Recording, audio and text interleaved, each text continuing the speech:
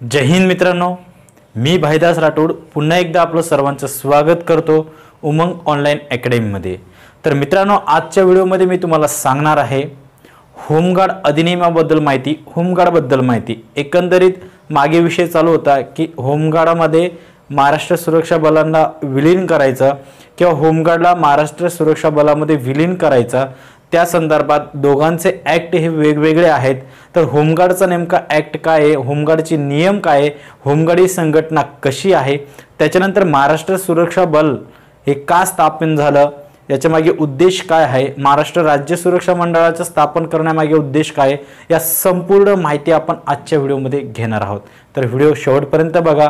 नक्कीच याचा तुम्हाला उपयोग होईल. जे होमगार्डमध्ये आहेत त्यांना पण उपयोग होईल. आणि जे महाराष्ट्र सुरक्षा बलामध्ये कार्यरत आहे त्यांना देखील या व्हिडिओचा खूप उपयोग होणार आहे. तर एकंदरीत आपण पहिले गोष्ट करूया होमगार्डची. तर होमगार्ड या संघटनेची स्थापना झाली सहा डिसेंबर एकोणीसशे सेहेचाळीस रोजी. म्हणजे ज्यावेळेस भारताला स्वातंत्र्य देखील मिळालं नव्हता त्यावेळेस होमगार्डची स्थापना झाली. तर होमगार्डची स्थापना करण्यामागे उद्देश काय होता? केंद्र शासनाने होमगार्डची स्थापना केली होती. त्यामागे उद्देश काय होता? की जे सर्वसामान्य व्यक्ती आहे भारतातले नागरिक कोणतेही जे सर्वसामान्य आहेत जे जॉब करतायत जे स्टुडंट आहेत जे रिकाम म्हणजे ज्यांना काही शेती वगैरे करतात की विविध क्षेत्रामध्ये कार्यरत आहे ते आपल्या देशाच्या सेवेसाठी काही आपत्कालीन परिस्थितीमध्ये होम पोलिसांच्या मदत करण्यासाठी ते ड्युट्या करतील. असं या उद्देशाने होमगार्डची स्थापना झाली होती. आपत्कालीन परिस्थिती काही असू शकते. नैसर्गिक आपत्ती असेल किंवा बाहेर दुसऱ्या देशाबरोबर युद्ध झालं असेल अशा कोणत्याही परिस्थितीमध्ये पोलिसांना मदत करण्यासाठी होमगार्डची स्थापना झाली होती आणि त्यांना ज्या ज्या दिवशी त्यांना ड्युटी करण्यासाठी बोलवणार त्या त्या दिवसाचा त्यांना भत्ता दिला जात होता. म्हणजे भत्ता दिला जातो आतापर्यंत तेच चालू आहे.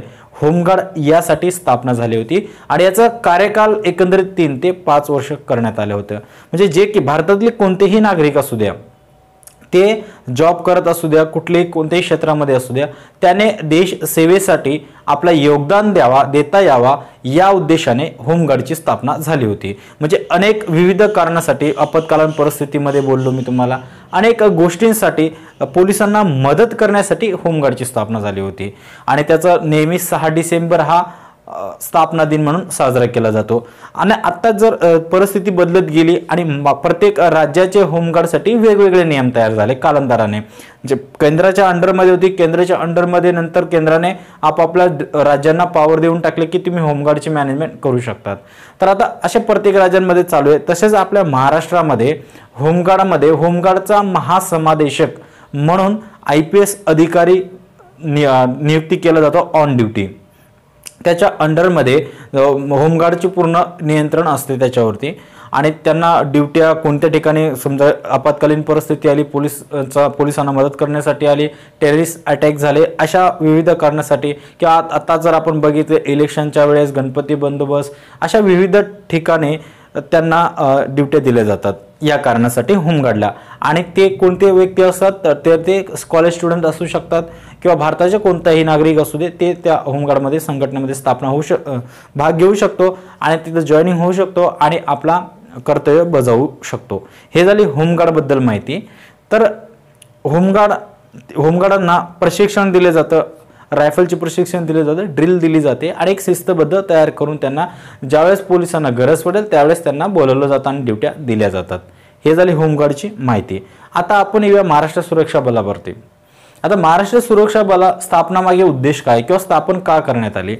तर एकंदरीत ज्यावेळेस सव्वीस अकराचा हल्ला झाला ताज हॉटेलवरती झाला त्याच्यानंतर सी एस टीला वगैरे झाला तर त्यावेळेस गव्हर्नमेंटला म्हणजे महाराष्ट्र शासनला अंतर्गत सुरक्षासाठी एक वेगळीच काहीतरी संघटना असली पाहिजे एक वेगळी काहीतरी फोर्स असली पाहिजे त्यावेळेस असा उद्देश तयार करण्यात आला. म्हणजे महाराष्ट्र राज्यामध्ये सरकारी कार्यालय असतील सरकारी आस्थापने असतील किंवा प्रायव्हेट कार्यालय असतील गर्दीचे जे ठिकाणं असतात किंवा अशा ज्या ठिकाणी टेररिस्ट वगैरे टार्गेट बनवतात अशा विविध आस्थापना ते गव्हर्नमेंटचे निमशासकीय शासकीय आणि प्रायव्हेट अशा विविध संघटनांना एक प्रशिक्षित सुरक्षा जर आपण दिली तर ते आपल्याला जे येणारा बोज आहे पोलिसांवरती येणारा ताण आहे आर्मीवरती इमर्जन्सीला आपण यांना त्यांना बोलवतो. त्यापेक्षा जर अंतर्गत सुरक्षा ही स्ट्रिक्टली राहिली व्यवस्थित राहिली तर आपली जी अंतर्गत सुरक्षाला एक चांगली घडी बसणार आणि जे येणारा प्रसंग आहे तो टाळता येईल. या उद्देशाने महाराष्ट्र सुरक्षा बलाची स्थापना झाली. सुरुवातीला जर आपण बघितलं महाराष्ट्र सुरक्षा बलाची स्थापना अकरा मार्च दोन हजार दहाला झाली. महाराष्ट्र राज्य सुरक्षा महामंडळ. हे जे महामंडळ इतर जे काही महामंडळ आहेत त्याचप्रमाणे महाराष्ट्र सुरक्षा महाराष्ट्र राज्य सुरक्षा महामंडळ आहे आणि त्याची स्थापना झाली. आणि त्या स्थाप महाराष्ट्र सुरक्षा महाराष्ट्र राज्य सुरक्षा महामंडळाच्या अंडरमध्ये एम एस एम म्हणजे महाराष्ट्र स्टेट सिक्युरिटी फोर्स याची संघटन यांची एक बल सुरक्षा बल स्थापन करण्यात आलं. हे जे महाराष्ट्र सुरक्षा बल स्थापन करण्यात आलं आणि ते जवळपास प्रशिक्षित कडक प्रशिक्षण देऊन त्यांना त्यांना कायद्याची सर्व बाजू सर्व बाजूने प्रशिक्षण देऊन.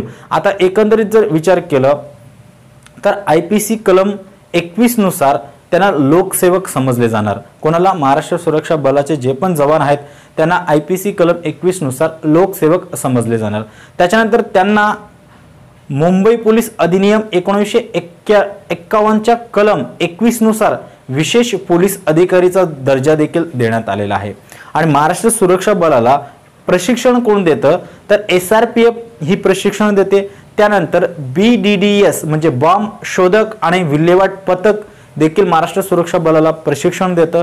त्याच्यानंतर एम आय ए म्हणजे महाराष्ट्र गुप्तचर अकॅडमी हे देखील महाराष्ट्र सुरक्षा बलाच्या जवानांना प्रशिक्षण देतात. त्याच्यानंतर सी आय एस एफ हे देखील प्रशिक्षण देतात. इत्यादी जे आपल्या महाराष्ट्र शासनाचा फोर्स आहेत एस आर पी एफ झाला बी डी एस झाला त्याच्यानंतर एम आय ए झाला सी आय एस एफ झाला हे जे काही सुरक्षा बल आहेत हे महाराष्ट्र सुरक्षा बलांच्या जवानांना ट्रेनिंग देतात. हे झालं ट्रेनिंगचा भाग. ट्रेनिंगमध्ये त्यांना जे फिटनेसबद्दल तर ट्रेनिंग दिलीच जाते त्याच्याबरोबर वेपन ट्रेनिंग दिली जातात त्याच्याबरोबर सॉफ्ट स्किल ट्रेनिंग दिली जाते त्याच्याबरोबर चेकिंग करणं बॉम्ब शोधणं त्यांचं विल्हेवाट करण्यासाठी काय प्रोसिजर असते अनेक अशा जे काही पोलिसांना ट्रेनिंग दिली जातं त्यातला बराचसा भाग महाराष्ट्र सुरक्षा बलाच्या जवानांना ट्रेनिंगच्या स्वरूपात दिले जातात. आणि एक परिपूर्ण प्रशिक्षित सुरक्षा रक्षक तयार केला जातो. आणि ते गवर शासकीय निमशासकीय किंवा प्रायव्हेट किंवा अदर ठिकाणी त्यांची नेमणूक ही केली जाते. ठीक आहे. तर त्यांना काय करण्याचा अधिकार नाही आहे महाराष्ट्र सुरक्षा बलाच्या जवानांना ते पण आपण जाणून घेऊया.